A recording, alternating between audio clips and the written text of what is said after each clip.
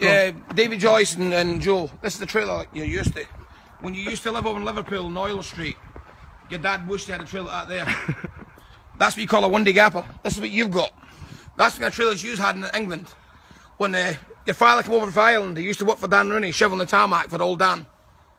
Dan Rooney gave him a beating one day because he was that backward he tried to roll the job with a fucking gas bottle. You know your father's a backward old man, an old hairy ape, an orangutan. You're living in a little house, pulling your tops off. Would you admit, would you admit you're on the dole? Would you admit you'd like that trailer? Be honest, you're licking your lips looking at the trailer. Slappy slap, windy gap. Aye, and aye, and there's an old lorry your father wish you had years ago. The old cargo there. But here, he never had one of them because what he had, he had a gas bottle. When he used to work for Dan Rooney and the Rooneys, the Rooneys took him over, England, over Ireland to England. He was rolling the jobs and they got cheeky and Dan Rooney had to give him that big a beating. He broke his legs for him. Joe, I promise you, when you come over, listen, I'm driving my hand. Listen, I'm going to say one thing to you. Joe Joyce's sons is no balls. Get it up, yees.